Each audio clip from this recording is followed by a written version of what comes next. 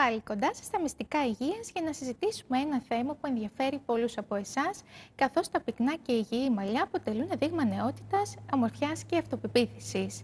Τι κάνουμε όμως όταν η αρέωση μαλλιών κάνει την εμφάνισή της; Κοντά μας σήμερα ο Δόκτωρ Αναστάσιος Βεκρής, πλαστικός χειρουργός, επιστημονικός διευθυντής της εξειδικευμένης κλινικής μεταμόσχευσης μαλλιών Advanced Hair Clinics και μέλος της Διεθνούς Εταιρείας Χειρουργικής Αποκατάστασης Τριχωτού ISHRS για να μας απαντήσει κρίσιμα ερωτήματα. Κύριε Βεκρή, καλησπέρα. Καλησπέρα σας. Καλώς ήρθατε. Ευχαριστώ πολύ για την πρόσκληση. Αναμφίβολα διανύουμε μια πολύ στρεσογόνα περίοδο. Το άγχος πυροδοτεί τη τριχόπτωση. Κοιτάξτε, είναι γεγονός, χωρίς να μπορεί να αποδειχθεί με ξεκάθαρο επιστημονικό τρόπο, ότι το άγχος, το έντονο στρες παίζει ρόλο στην τριχόπτωση, ευωδώνει την τριχόπτωση, αυξάνει την τριχόπτωση, επιδεινώνει την τριχόπτωση. Πλην όμως παρατηρείται σε περιπτώσεις όπου υπάρχει ήδη υπόστρωμα κληρονομικότητος, ναι. οπότε πολύ απλά ε, προχωρά την κατάσταση ένα βήμα παραπέρα ε, κάνει την κατάσταση λίγο να εξελίσσεται πιο γρήγορα. Mm -hmm. Χωρίς όμως να μπορεί να πει κανείς με βεβαιότητα ότι υπάρχει συγκεκριμένος μηχανισμός που γίνεται αυτό και χωρίς βέβαια να μπορεί να πει κανείς ότι σε έναν υγιή άνθρωπο που δεν είχε κληρονομικότητα για τριχόπτωση ότι θα συμβεί κάτι απλά και μόνο λόγω στρες. Πάντως σε γενικές γραμμές σίγουρα επιδεινώνει την κατάσταση. Μάλιστα. Ποια θεωρείτε ότι είναι τα αίτια που επιδεινώνουν τη γυναικεία και αντρική τριχόπτωση; Ε, αν μιλάμε για το πλήστο των περιπτώσεων, αυτά με τα οποία ασχολούμαστε στην καθημερινή πράξη, πάνω από το 90% ε, των ασθενών με τριχόπτωση που αντιμετωπίζουμε, ε, εμφανίζουν τη λεγόμενη ανδρογενετικού τύπου κληρονομική αλοπαικία. Αυτή είναι η κοινώς λεγόμενη ανδρική φαλάκρα. Την ε, βλέπουμε όλοι γύρω μας, σε νεότερους και σε μεγαλύτερους άνδρες. Πλήττει όμως εξίσου και τις γυναίκες. Κάτι το οποίο δεν είναι ευρύτερα γνωστό. Ε, ναι. Πολλές γυναίκες έχουν την ίδια κληρονομικότητα όπως και οι άνδρες. Με τη διαφορά ότι ε, στην αναπαραγωγική ηλικία, στην νεαρή ηλικία ας πούμε, των γυναικών, επειδή υπάρχει μια φυσική προστασία από τις θηλυκές ορμόνες, από τα εστρογόνα, ναι. στην εκδήλωση, την κλινική εκδήλωση του φαινομένου της ε, τριχόπτωσης, δεν παρατηρείται με την ίδια συχνότητα με τους άνδρες αυτή η μεγάλη και κραυγαλαία αρέωση ή η φαλάκρα η τοπική. Αυτό είναι κάτι πάρα πολύ σπάνιο στις γυναίκες και όταν το παρατηρούμε πλέον κλινικά και γίνεται εμφανές, συνήθως αφορά γυναίκες ε, μεταμινοπαυσιακέ. Ε, μεγαλύτερης ηλικίας. Μάλιστα. Αυτό είναι κάτι που όντως δεν γνωρίζαμε. Ακριβώς. Υπάρχει κάποια επιστημονική μέθοδος για να προληφθεί το πρόβλημα; Η επιστημονική μέθοδος που προκρίνεται είναι καταρχάς να μπει σωστή διάγνωση. Και να μπει σωστή Σωστά. διάγνωση εγκαίρως. Γιατί υπάρχουν, όπως σας είπα, περιπτώσεις κληρονομικής ε, αλοπαικίας που θα πούμε μετά ποια είναι η αντιμετώπιση. Mm Υπάρχουν όμως και ειδικά στις γυναίκες πολλές λιγότερο συχνές καταστάσεις οι οποίες δημιουργούν τριχόπτωση και μπορεί να δημιουργήσουν μόνιμο πρόβλημα εφόσον δεν αντιμετωπιστούν καταλήλως και εγκαίρως. Υπάρχουν ας πούμε καταστάσεις που σχετίζονται με τις ε, ορμόνες του θηροειδούς ή με τις ε, θηλυκές ορμόνες, ε, με την ισορροπία των ιστρογόνων και της ε, τεστοστερόνης. Υπάρχουν καταστάσεις που σχετίζονται με μακροχρόνιες δίαιτες, με έλλειψη σιδήρου. Και αυτό είναι κάτι που δεν το γνωρίζαμε. Προφανώς. Είναι πολύ σημαντικό που μας το αναφέρετε. Και αυτό είναι ιδιαίτερα συχνό στις γυναίκες. Οπότε, mm -hmm. πολλές φορές αντί να κυνηγάμε την ουρά μας, αν μου επιτρέπετε η έκφραση, και πάμε σε περίπλοκες θεραπείες, κοστοβόρες και χρονοβόρες, χωρίς αποτελέσματα, θα πρέπει να γίνει πρώτα μια σωστή κλινική εξέταση, ενδεχομένως να συνδυαστεί με εργαστηριακό έλεγχο ορμονολογικό, mm -hmm. γενική αίματος και απλό βιοχημικό ούτως ώστε να συμπεράνουμε εάν πρόκειται για κάποια από αυτές τις λιγότερο συχνές μορφές τριχόπτωσης, που όμως αντιμετωπίζονται εύκολα με την κατάλληλη φαρμακευτική αγωγή, ή αν πρόκειται για την κλασική κληρονομική ε, ανδρογενετικού τύπου αλοπαικία που είπαμε πριν, που η θεραπεία διαφέρει. Mm Ποιες είναι λοιπόν αυτές οι θεραπευτικές επιλογές που έχει ένας ασθενής για να αντιμετωπίσει την τριχόπτωση; Οι θεραπευτικές επιλογές που έχουν κάποιο νόημα να συζητάμε σε ιατρικό επίπεδο και θα ήθελα εδώ να διαχωρίσω απολύτως τη θέση, τη θέση μου γιατρού από τις ε, δίθεν θεραπείες και σε εισαγωγικά θεραπείες που βλέπουμε καθημερινά γύρω μας και βομβαρδιζόμαστε στην τηλεόραση, στα μίντια. Ε, σίγουρα δεν είναι μαγικές λύσεις και σίγουρα δεν είναι η θαυματουργή λοσιών, ε, η θαυματουργή κρέμα ή το θαυματουργό σαμπουάν. Αυτά θα πρέπει να τα βγάλουμε από το μυαλό μας, αν μιλάμε για ιατρικές λύσεις. Mm Οι ιατρικές λύσεις, δυστυχώς, ακόμη και σήμερα, παρόλη την πρόοδο που έχει υπάρξει, είναι μετρημένες στα δάχτυλα του ενός χεριού και συνίστανται στην ε, καθημερινή χρήση κάποιων τοπικών ε, φαρμακευτικών ουσιών που αναστέλουν τη διαδικασία της τριχόπτωσης. Οι κυριότερες είναι η μινοξιδίλη που παρατείνει την αναγενή φάση, την φάση ανάπτυξης, να πω έτσι, της τρίχας. Ενδιαφέρον αυτό. Η φιναστερίδη που είναι μια αντιανδρογόνος ε, ουσία. Ε, και εκεί τελειώνει στην κυριολεξία το φάσμα των φαρμακευτικών θεραπείων. Ενώ μια άλλη θεραπεία σύγχρονη μη φαρμακευτική είναι η αυτόλογη μεσοθεραπεία με PRP. Το πλάσμα του αίματος ε, που προέρχεται μετά από φυγοκέντρηση του αίματος του ίδιου του ασθενούς. Ναι, θα σας ρωτούσα αμέσως τώρα τι ακριβώς είναι η θεραπεία PRP. Πιθανότατα γιατί το έχετε ακούσει ήδη, είναι μια θεραπεία που τα τελευταία χρόνια εφαρμόζεται με επιτυχία στην τριχόπτωση. Mm Πλην όμως στην πλαστική χειρουργική είναι γνωστή τουλάχιστον τα τελευταία 20 χρόνια και έχει εφαρμοστεί με επιτυχία στην αντιμετώπιση εγκαυμάτων, ε, ελκών που δεν κλείνουν mm κλπ. Βλέπουμε παράλληλα και κάποιες εικόνες από την αποτελεσματική θεραπεία Εδώ ακριβώς είναι μια πολύ εντυπωσιακή εικόνα από μια ευτυχώς σπάνια κατάσταση που είναι η γυροειδής αλοπεκία. Η γυροειδής αλοπεκία είναι μια νοσολογική οντότητα που απαντάται περίπου στο 1% του πληθυσμού. Προσβάλλει για λόγους αγνώστους ακόμη σε εμάς ε, νεαρά άτομα κυρίως. Εδώ πέρα πρόκειται για ένα παιδάκι το οποίο εμφάνισε την όσο αυτής η ηλικία. Είναι παιδάκι λοιπόν αυτό στη φωτογραφία. Είναι μια συγκλονιστική ιστορία, κυρία Μουσά, γιατί Θέλετε είναι... να τη μοιραστείτε βεβαίως, μαζί μας; Βεβαίως, είναι πάρα πολύ ενδιαφέρουσα, πολύ συγκινητική. Το παιδάκι αυτό εμφάνισε πολύ πρώιμα σε ηλικία 4 ετών την κατάσταση αυτή. Μπορεί να εμφανιστεί δηλαδή και σε τόσο πάρα πρώιμη πολύ ηλικία. Και, και ακόμα νωρίτερα. Και μάλιστα φανταστείτε ότι μιλάγαμε για την καθολική μορφή, δηλαδή μια μορφή που είχε χαθεί όλο ουσιαστικά το τρίχωμα του τριχωτού της κεφαλής και από το πρόσωπο. Ε, από το πρόσωπο, τι εννοείται, έχει χαθεί; Σε μεγαλύτερους ανθρώπους θα είναι τα γένια, σε mm νεαρότερα παιδιά όπως εδώ πέρα θα ήταν και τα φρύδια ακόμη που έχουν Μάλιστα. φύγει. Οι μορφές αυτές συνήθως δεν ανταποκρίνονται καλά σε τοπικές θεραπείες και δεν ανταποκρίνονται καλά και στην πορεία του χρόνου, δηλαδή δεν αναστρέφονται. Ε, στη συγκεκριμένη περίπτωση, λοιπόν, δυστυχώς είχαν δοκιμαστεί όλες οι συντηρητικές θεραπείες χωρίς κανένα αποτέλεσμα και αυτό είχε συσσωρεύσει τεράστια ψυχολογικά προβλήματα στο παιδί, Φυσικά. το οποίο προέρχεται από μια επαρχιακή πόλη, από ένα νησί, ε, μεγαλωμένο μέσα σε ένα περιβάλλον όπου ήταν δακτυλοδεικτούμενο και όλοι ξέρουμε πόσο σκληρά μπορεί να είναι τα παιδιά σε αυτή την ηλικία με ένα άλλο παιδάκι το οποίο ε, διαφέρει ε, εμφανισιακά. Εννοείται. Αποκτούν και... και ψυχολογικά θέματα τα παιδιά. Το παιδί δεν ήθελε να πάει σχολείο, σας λέω αυτό, δεν ήθελε να πάει Ναι. σχολείο. Ναι. Ήρθε λοιπόν σε εμάς ε, όλη η οικογένεια σε κατάσταση απελπισίας, λέγοντας: Έχουμε δοκιμάσει τα πάντα. Υπάρχει κάτι, υπάρχει κάποια λύση. Ε, δεν ξέρουμε τι να κάνουμε με το παιδί. Το παιδί δεν θέλει να βγει από το σπίτι, δεν θέλει να πάει στο σχολείο. Και το παιδί πλέον να βρίσκεται σε ηλικία γυμνασίου. Δηλαδή αυτή η κατάσταση συνεχιζόταν επί 10 χρόνια. Ε, Εφαρμόσαμε λοιπόν ως μέσο τελικής ε, καταφυγής το PRP, μια και όλα τα υπόλοιπα είχαν δοκιμαστεί. Και πραγματικά προς μεγάλη μας ικανοποίηση και του ίδιου του παιδιού και της οικογένειας και φυσικά ημών, Είναι απίστευτο. ε, βλέπουμε την εικόνα δεξιά, η οποία είναι μια εικόνα μετά από μόλις ε, τρεις συνεδρίες. Άλλαξε η ζωή αυτού του παιδιού, Άλλαξε η σίγουρα. ζωή κυριολεκτικά όλης της οικογένειας. Γιατί αυτό ήταν Είναι ένα ψυχολογικό απίστευτο. βάρος που συνόδευε και το παιδί και την οικογένειά Βέβαια. του. Ε, για μας είναι ένα εντυπωσιακό περιστατικό το οποίο το έχουμε δημοσιεύσει και στον ε, Διεθνή Ιατρικό Τύπο. Έχει συνοδευτεί αργότερα από άλλα περιστατικά αντίστοιχα που ενίσχυσαν ακόμη περισσότερο τη θέση μας. Η πραγματικότητα είναι όσο και να φαίνεται περίεργο ότι δεν έχουμε τον ακριβή μηχανισμό του πώς λειτουργεί το PRP στις περιπτώσεις αυτές, ε, όσο περίεργο και να φαίνεται. Επομένως η εφαρμογή του γίνεται κλασικά με, με κλινικά κριτήρια. Και παίζει Ε, ρόλο φυσικά και η εμπειρία του γιατρού, ναι. είναι πολλά. Πλην όμως, εμείς από τη στιγμή που δουλεύει και από τη στιγμή που είναι μια αυτόλογη θεραπεία, προέρχεται δηλαδή από τον ίδιο τον οργανισμό, δεν συνοδεύεται από παρενέργειες όπως οι φαρμακευτικές ε, θεραπείες, δεν έχουμε κανένα λόγο να μην το εφαρμόσουμε. Φυσικά. Και είναι κάθε φορά μοιράζεστε ιστορίες μαζί μας που το λιγότερο μπορούμε να πούμε είναι συγχαρητήρια σε εσάς και στην ομάδα σας. Ε, Συνεχίζετε να μας εντυπωσιάζετε με τα αποτελέσματα αυτά. Ευχαριστούμε φυσικά. πολύ. Η πραγματικότητα είναι ότι για μας προέχει η ηθική ικανοποίηση. Όταν βλέπουμε ένα τέτοιο αποτέλεσμα, Σίγουρα. θεωρούμε ότι δώσαμε μια λύση σε ένα σοβαρό ψυχολογικό πρόβλημα και αυτό λέει πολλά. Σίγουρα.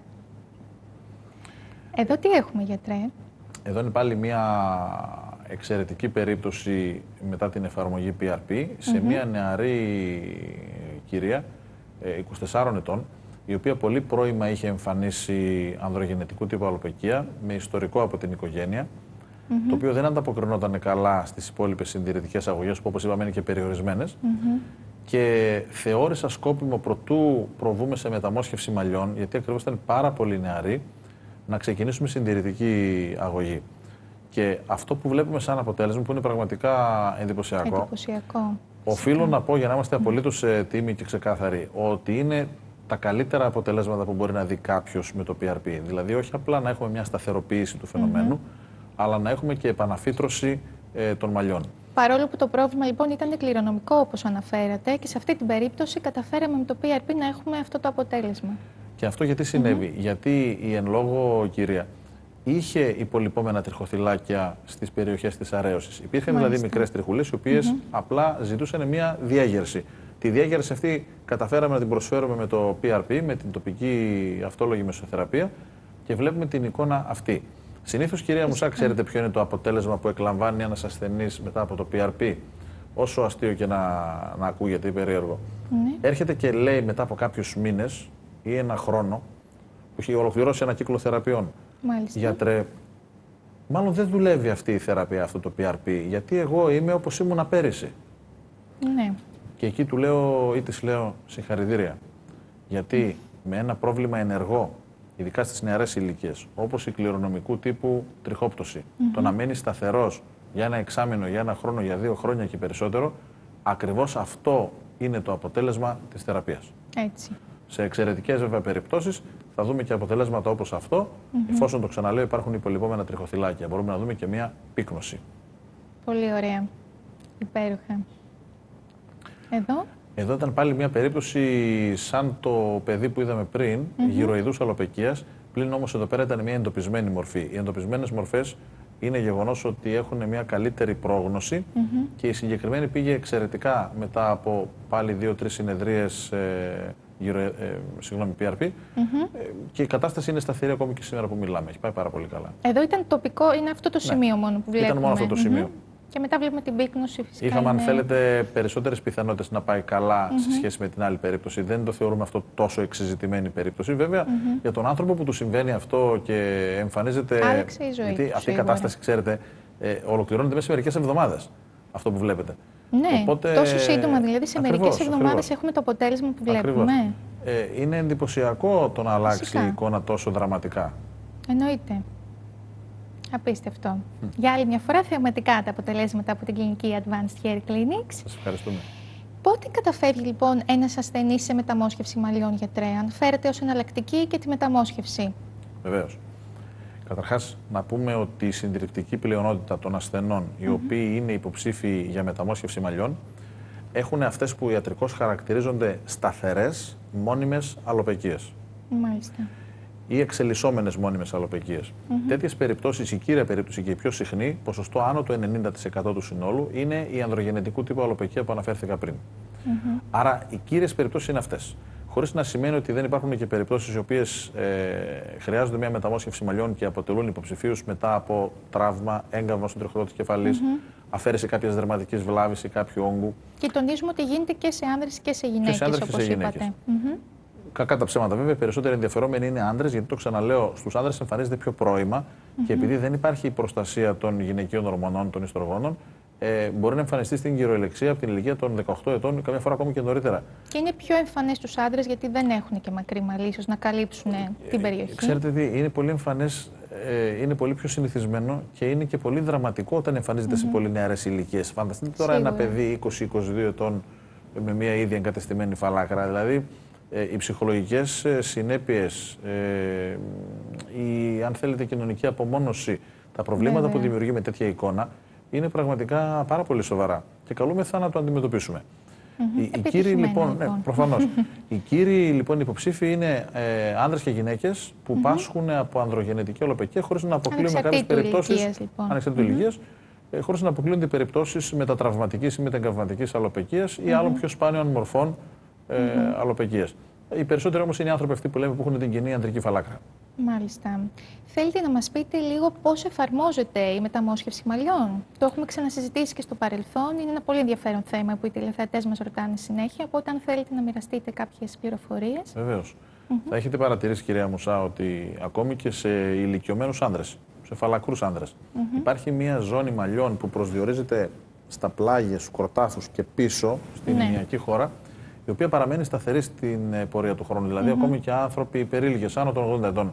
Θα δούμε ότι στην περιοχή αυτή, ενώ έχουν χάσει τα υπόλοιπα μαλλιά, εκεί έχουν μαλλιά. Αυτή ονομάζεται ζώνη σταθερής τριχοφίας και είναι μια περιοχή η οποία με μικρές διακυμάνσεις είναι σταθερή στους άνδρες παγκοσμίως και στις γυναίκες και η οποία επηρεάζεται ελάχιστα σαν πυκνότητα στο χρόνο. Ο λόγος είναι ότι σε μικροσκοπικό επίπεδο έχει βρεθεί ότι οι τρίχες αυτής της περιοχής δεν περιλαμβάνουν υποδοχή ανδρογόνων. Τα ανδρογόνα και τα παράγωγά τους, οι ανδρικές ορμόνες με λίγα λόγια, είναι η κύρια γενεσιουργός αιτία για την ανδρική τριχόπτωση. Συνδεόμενα πάνω στους κατάλληλους υποδοχή στην πάσχουσα περιοχή, που συνήθως είναι το μπροστινό και το πάνω μέρος του Ναι. τριχωτού της κεφαλής, δημιουργούν μια αυτοάνωση φλεγμονή με αποτέλεσμα τον σταδιακό εκφυλισμό και τελικά την πτώση της τρίχας.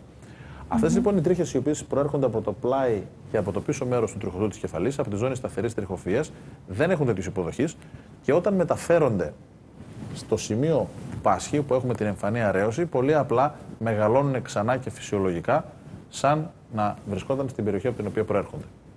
Πολύ Αυτό ωραία. λοιπόν μας επιτρέπει όταν υπάρχει επαρκής δότρια περιοχή και σε έκταση και σε πυκνότητα και ανάλογα και με το πρόβλημα που έχουμε να καλύψουμε, αν είναι μικρότερο ή μεγαλύτερο, να κάνουμε αυτή τη μεταφορά τριχοθυλακίων υγιών από την σταθερή περιοχή στην περιοχή που πάσχει και να έχουμε μια επακόλουθη κάλυψη. Θα λέγατε λοιπόν ότι είναι μια καλά ανεκτή διαδικασία. Πώς την περιγράφουν οι ασθενείς σας, γιατρέ; Κοιτάξτε να δείτε. Ε, η διαδικασία όπως την κάνουμε σήμερα, που εφαρμόζουμε την τεχνική FUE, που ουσιαστικά μιλάμε για μεταφορά μεμονωμένων τριχοθυλακίων, τα οποία εξάγονται με μικροσκοπικά εργαλεία, με διάμετρο μικρότερη από ένα χιλιοστό. Μάλιστα. Υπομεγέθυνση. Και μεταφέρονται στην πάσχουσα περιοχή, χωρίς να υπάρχουν γραμμικές ε, τομές με νηστέρι και γραμμικές Οπότε δεν ουλές. μιλάμε για την κλασική μέθοδο Όχι. της μεταμόσχευσης μαλλιών. Να η το οποία, τονίσουμε. αν θέλετε, είχε και ένα μεγάλο σημάδι πολλές φορές εμφανές. Μμμ. Ε, και σήμερα έτυχε πριν έρθω εδώ να δω κάποιον κύριο ο οποίος είχε μια τέτοια αποτυχημένη επέμβαση, ο οποίος όχι απλά δεν είχε Ήταν βγάλει και μαλλιά εμφανές, πάνω στο λοιπόν. κεφάλι, είχε και μια εμφανή ουλή γιατί είχε κα- ξηρίσει τα υπόλοιπα μαλλιά του, οπότε φαινόταν και σαν να έχει κάνει μια επέμβαση. Μπορούμε να Ε, διακρίνουμε λοιπόν ποια από τις δύο ε, μεθόδους έχει χρησιμοποιηθεί. Ε, Φαίνεται. δυστυχώς, δυστυχώς φαίνεται. Κανονικά δεν θα πρέπει να φαίνεται. Μάλιστα. Αποφεύγοντας όμως αυτή τη γραμμική ουλή και αφαιρώντας τριχοθυλάκια ένα προς ένα με μικροεργαλεία όπως σας είπα πριν, Ναι. με τη μέθοδο FUE, καταφέρνουμε να πάρουμε αρκετά τριχοθυλάκια για να καλύψουμε την πάσχουσα περιοχή, χωρίς ταυτοχρόνως να έχουμε εμφανή ε, εξωτερικά σημάδια στην, ε, πάσχου- στην δότερη περιοχή. Ε, και τουλάχιστον, αν δεν γίνει ένα κούρεμα πάρα πολύ κοντό, να μην φαίνεται τίποτα. Απίστευτο. Τώρα, βέβαια, σε πάρα πολύ κοντό κούρεμα μπορεί να φανούν κάποιες μικρές ε, λευκές ε, κουκίδες διαμέτρου μικρότερες του ενός χιλιοστού. Αυτό είναι κάτι που πραγματικά είναι σπανιότατο να το δούμε και αφορά περιπτώσεις που έχει γίνει το λεγόμενο overharvesting. Δηλαδή, έχουν ληφθεί περισσότερα τριχοθυλάκια από όσα θα έπρεπε. Μμμ. Και κανονικά θα έπρεπε να αποφεύγεται. Κάτι που μας ρωτάνε πολλοί τηλεθεατές είναι παίρνοντας τριχοθυλάκια από την δότρια περιοχή, δεν αραιώνει η δότρια περιοχή, δεν αλλάζει κάτι στο, στην πύκνωση. Είναι η πολύ σοβαρή ερώτηση αυτή. Θα πρέπει να είναι η μέρημνα του γιατρού και της ομάδα του να, και η εμπειρία τέτοια ώστε να πάρουμε περίσσευμα τριχοθυλακίων για να κάνουμε τη δουλειά μας, Μάλιστα. αλλά να μην αραιώσουμε την περιοχή σε τέτοιο βαθμό που να γίνει εμφανές.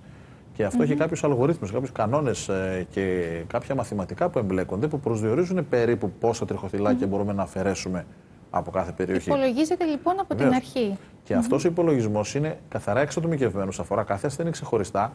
Πρέπει να γίνεται για να γίνει και μια σωστή, ένα σωστό πλάνο, μια σωστή έτσι, μ, ε, πορεία θεραπευτική που να εξηγεί τι έχουμε στη διάθεσή μας, τι μπορεί να εξαχθεί με ασφάλεια χωρίς να έχουμε εμφανή κενά, τι μπορεί να καλυφθεί και πόσες συνεδρίες θα χρειαστούν. Γιατί μια ολοκλήρωση ενός αποτελέσματος για μεγάλες περιοχές μπορεί να μην γίνει σε μια συνεδρία, να απαιτηθούν δύο ή και τρεις ή και περισσότερες συνεδρίες.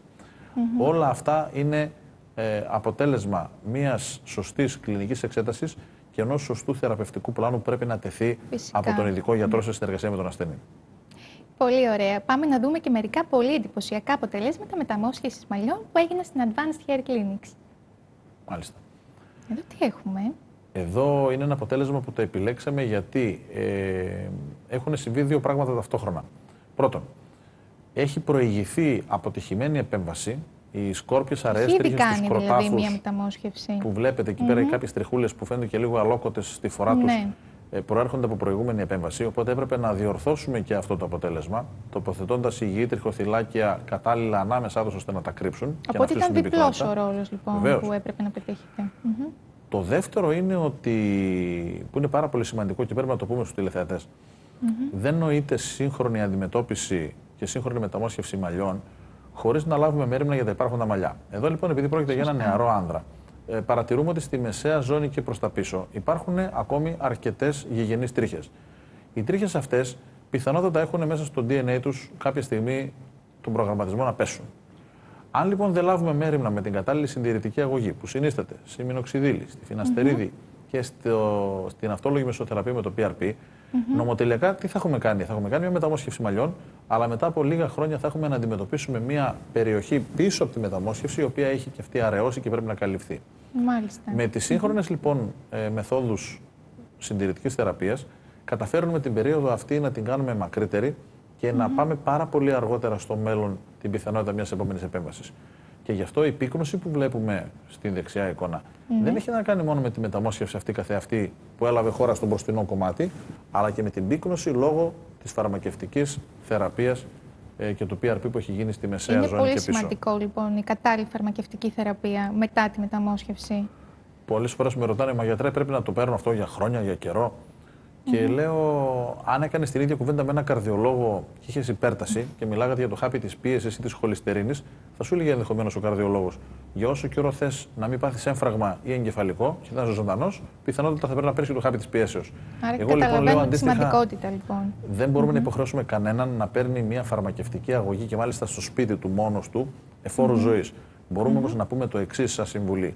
Για όσα χρόνια, για όσο διάστημα σε αφορά η υγεία των μαλλιών σου και η εμφάνισή σου, θα πρέπει να παίρνεις αυτή Σωστά. την αγωγή. Μμμ. Οπότε είναι στο χέρι του καθενός Προφανώς. να πράξει ανάλογα. Εδώ έχουμε μια Και εδώ εντυπωσιακή πολύ εικόνα ωραίο πάλι σε έναν αποτέλεσμα. νεαρό άνθρωπο. Ο λόγος που την επέλεξα να σας τη δείξω είναι γιατί ε, δεν μπορούμε να δούμε βέβαια τα μάτια για λόγους ε, καθαρά. Σίγουρα θα φαινόταν πολύ μεγαλύτερος πριν τη μεταμόσχευση Είναι σε ακριβώ σχέση αυτό. με το μετά.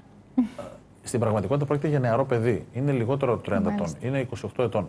Αυτό λοιπόν που βλέπουμε στην εικόνα πριν είναι ένας άνθρωπος απροσδιορίστου ηλικίας. Με ένα Ακριβώς. νεαρό πρόσωπο που φαίνεται το πρόσωπό Σίγουρα του, πάνω από 35, μην σας πω και 40. αλλά θα τον χωρίς έκανα. ακριβώς επειδή έχει χαθεί αυτός ο προσδιορισμός ε, της ε, γραμμής του μετώπου, να μπορεί κάποιος να πει ότι αυτός ο άνθρωπος είναι μεγάλος, είναι μικρός, είναι μεσαίος. Ε, δίνουμε ουσιαστικά πίσω τα χαμένα χρόνια στους Έτσι. άντρε. Δηλαδή, τον κανάμε αυτόν τον άνθρωπο πάλι ένα νεαρό παιδί, σαν αυτό που είναι. Ακριβώς. Αυτό, κυρία Μουσά, ως γυναίκα και με πλούσιο μαλλί, ε, που θα το ζήλευαν Δόξα τω πολύ Θεώ. και πολλές. δεν μπορείτε ίσως να το αντιληφθείτε, αλλά εγώ, σαν άντρας, επειδή συμπάσχω και έχω κάνει και ο ίδιος μεταμόσχευση μαλλιών, οφείλω να πω. Μάλιστα, έχετε κάνει και Βεβαιότατα, εσείς. βεβαιότατα. Μα δεν θα Φυσικά πρότεινα. δεν φαίνεται καθόλου έτσι. Ευχαριστώ δηλαδή πολύ. το αποτέλεσμα είναι τόσο φυσικό. Μια θεραπεία Πραγματικά. που προτείνω και την κάνουμε σε κυριολεκτικά χιλιάδες ανθρώπους κάθε χρόνο από την Ελλάδα και το εξωτερικό. Ε, δεν θα ήμουν εγώ αυτός που θα την πρότεινα και θα την έκανα χωρίς να την έχω δοκιμάσει και να την έχω κάνει ο ίδιος. Σωστά. Και μάλιστα με επιτυχία. Υποθέτω ότι χρησιμοποιείτε και τα προϊόντα που αναφέρετε, τα φαρμακευτικά.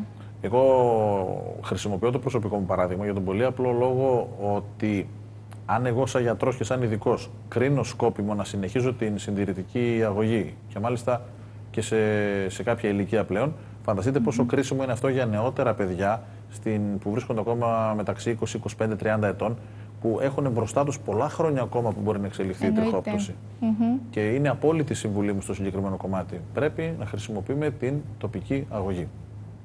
Ωραία. Ελπίζω οι τηλεθεατές μας να σας άκουσαν και να εγώ λάβουν το ελπίζω. υπόψη Το ελπίζω όλα γιατί- αυτά που μοιραστήκατε μαζί μας. Εδώ έχουμε μια Εδώ. περίπτωση που έχουμε εστιάσει στο hairline σε έναν άνθρωπο ο οποίος φαινομενικά έχει πολλά μαλλιά. Και τα πολλά μαλλιά απλά μετά γίνανε ακόμα περισσότερα και πιο πυκνά. Είναι και σγουρά, οπότε βοηθάει αυτός σε αυτή την περίπτωση. Βεβαίως. Πλην όμως, ο λόγος που επέλεξα τη συγκεκριμένη εικόνα είναι γιατί ο συγκεκριμένος άνθρωπος είναι καλλιτέχνης. Ε, Ναι. Με ένα μαλλί λοιπόν πριν, το οποίο πολλοί άνθρωποι με αρέωση θα ζήλευαν και θα έλεγαν Μα τι θέλει αυτός τώρα και Ακριβώς. ψάχνεται και θέλει να φτιάξει τα μαλλιά του. Ε, ο άνθρωπος αυτός όμως που βιοπορίζεται από την εμφάνισή του ήρθε στην κυριολεξία απελπισμένος για βοήθεια, λέγοντας Δεν μπορώ να εργαστώ. Δεν μπορώ να κλείσω δουλειές. Δεν αισθάνομαι αυτοπεποίθηση Απίστευτο. να συνθέσω γιατί είναι μουσικός, να συνθέσω και να τραγουδήσω. Ε, τον άνθρωπο αυτό λοιπόν έπρεπε να τον βοηθήσουμε. Και είναι αυτό που συχνά λέω. Δεν θεραπεύουμε στην περίπτωση της ανδρογεννητική αλλοπαικίας μια πάθηση του δέρματος με την κλασική έννοια του όρου. Υπάρχουν ε, γύρω μας ε, σε όλο τον κόσμο εκατομμύρια και δισεκατομμύρια ίσως φαλακροί, οι οποίοι δεν θα κάνουν Σίγουρα. ποτέ τίποτα για την τριχόπτωσή τους. Σε πολλές όμως περιπτώσεις που η τριχόπτωση συνοδεύεται από σοβαρά ψυχολογικά προβλήματα, είναι υποχρέωσή μας ως ειδικών γιατρών να δώσουμε λύση στο πρόβλημα. Γιατί οι άνθρωποι αυτοί πολύ απλά δεν μπορούν να Εννοείται. λειτουργήσουν. Εννοείται, είναι πολύ σημαντικό αυτό που λέτε. Εδώ βλέπουμε έχουμε μια κυρία. Βλέπουμε μια κυρία. Ε, όπως είπα και πριν, οι κυρίες δεν είναι, έχουν, έχουν το ίδιο φορτίο κληρονομικότητας σε ό,τι αφορά την ανδρογεννητική αλλοπαικία. Όμως η κλινική εικόνα που βλέπουμε που είναι αρκετά δραματική δεν θα τη δούμε τόσο συχνά όσο στους άντρες. Και θα τη δούμε σε γυναίκες μέσης ηλικίας και μετά. Εδώ πρόκειται πραγματικά για μια κυρία όχι πολύ μεγάλη, γύρω στα 45, η οποία εμφάνισε σημαντικό πρόβλημα, είχε σημαντικά επιβαρημένη κληρονομικότητα και καταφέραμε με μεταμόσχευση μαλλιών, ε, μετά από μία συνεδρία έχει επιτευχθεί το αποτέλεσμα αυτό, σε συνδυασμό με συντηρητική αγωγή, να έχουμε την εικόνα που βλέπετε. Απίστευτο το αποτέλεσμα αυτό. Βεβαίως. Σας ευχαριστούμε που για άλλη μια φορά μοιραστήκατε τα εντυπωσιακά αποτελέσματα από την Advanced Hair Clinics και που μοιραστήκατε και πολλές συμβουλές χρήσιμες με τους τηλεθεατές μας. Να σας ευχαριστήσω. Καλό βράδυ. Εγώ σας ευχαριστώ για την πρόσκληση. Γεια σας, να είστε καλά.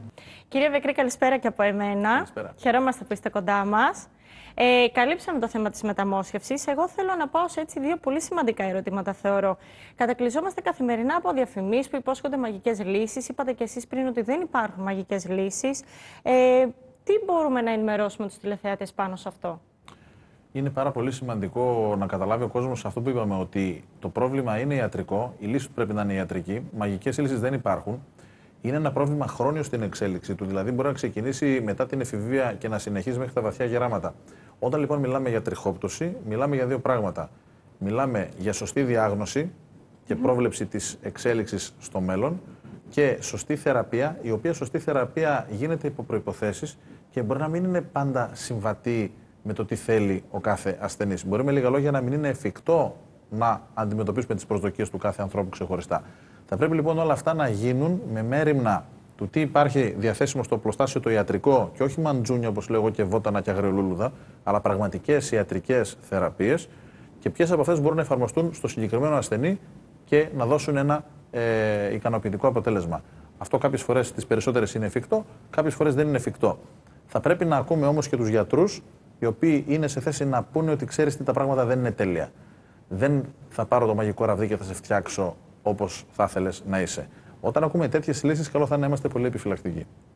Μάλιστα, πολύ σημαντικό αυτό. Άρα, υπάρχει κάποιος τρόπος να ελέγξει ο ασθενής την αξιοπιστία κάποιου ειδικού ή όχι; Και βέβαια, επειδή βομβαρδιζόμαστε σήμερα από τα social media, από την ε, digital διαφήμιση, από την τηλεόραση αν θέλετε, από ειδικούς με και χωρίς εισαγωγικά. Είναι πάρα πολύ εύκολο να ελέγξουμε εξίσου με την πληροφορία που μας είναι διαθέσιμη. Ποιος είναι αυτός που μιλάει, ε, ποια είναι η ειδικότητά του; Είναι το αντικειμένο, είναι δηλαδή ένας πλαστικός χειρουργός, ένας δερματολόγος, είναι ασχέτης του ειδικότητα, είναι μη γιατρός. Ε, Ποιες είναι οι περγαμηνές του, Πού έχει σπουδάσει, Ποια είναι τα περιστατικά του; Έχει κάνει λίγα, έχει κάνει περισσότερα; Ένας άνθρωπος που κάνει 5 ή 10 επεμβάσεις το χρόνο είναι δυνατόν να έχει την ίδια εμπειρία με κάποιον ο οποίος έχει πραγματοποιήσει 10.000 επεμβάσεις; Ε, έχει παρουσιάσει τα αποτελέσματά του live σε διεθνή συνέδρια; Έχει στο site ή στο ενημερωτικό του υλικό πραγματικούς ανθρώπους με πραγματικά αποτελέσματα μονοματεπώνυμο, όπως έχουμε και δείχνουμε σε όποιον μας ζητήσει. Αυτά είναι λίγα από τα κριτήρια τα οποία πρέπει να χρησιμοποιήσει ο κάθε σόφρον άνθρωπος στην αναζήτησή του για τον κατάλληλο ειδικό. Μάλιστα, ο κύριος Βεκρή απαντάει πολύ στοχευμένα.